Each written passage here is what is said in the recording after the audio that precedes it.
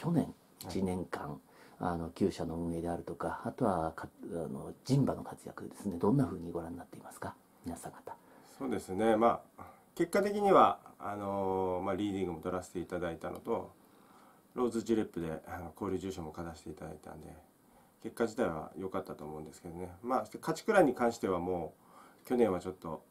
あの同営の最多勝をちょっと狙っていったんでまあそれもちゃんとクリアできたっていうのは本当最高の締めくくりになったと思うんですけど。今のこの時代ですからねなかなかやっ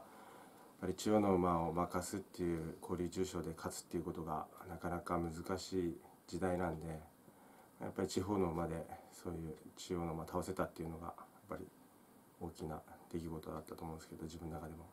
まあ、開幕までの準備なんですけれども、はい、まあ、開幕が、あの例年より若干早くえ開幕するんですけど、まあ、それに向けて今年はコースの方もねあの門別のコース自体も早くから使えるように馬場管理の人たちがやってくれてたんで、えー、まあ思った以上に、まあ、僕の厩舎だけじゃなくよその他厩舎も馬は2歳は仕上がって、えー、るんじゃないかなっていうのはありますよね。えーまあ、また本当に2歳は中心なんで何が起こるかわからないですけどええ楽しみは楽しみですよね。地球車はまあそうですね。例年通りやっぱりちょっと期待馬はやっぱり頭数も多く入れていただいてるんで中にやっぱり期待もしてる馬もいますし、まあ、春からスーパーフレッシュでも狙っていくような馬も、ええまあ、勝ち負けは分かりませんけど自分なりに手応えを感じて、ええ、いける馬はいますよね。まあそうですね。あの最初の能力試験で一番時計だったあのソイカウボーイっていう馬ですね、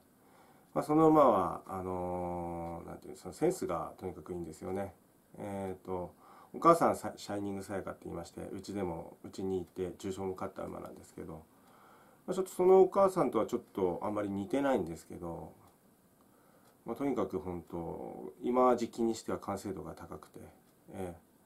スタートも上手ですし、えー、とにかく走ってる時のフォームがまた良くて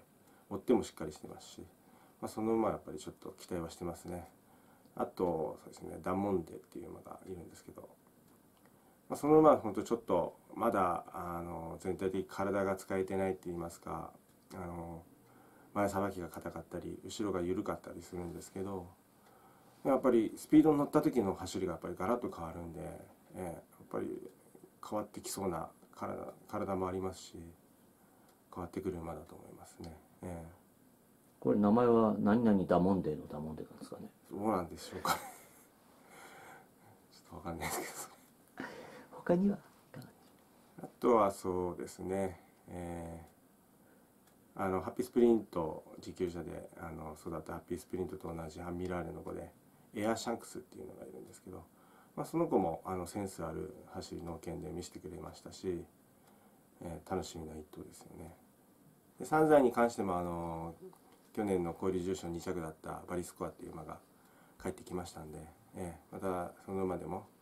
3歳の重賞を狙っていきたいですし楽しみは本当今年もありますよね。なんか具体的な厩舎としての目標っていうのはもう立てられたんでしょうか？まあそうですね目標うんとりあえず、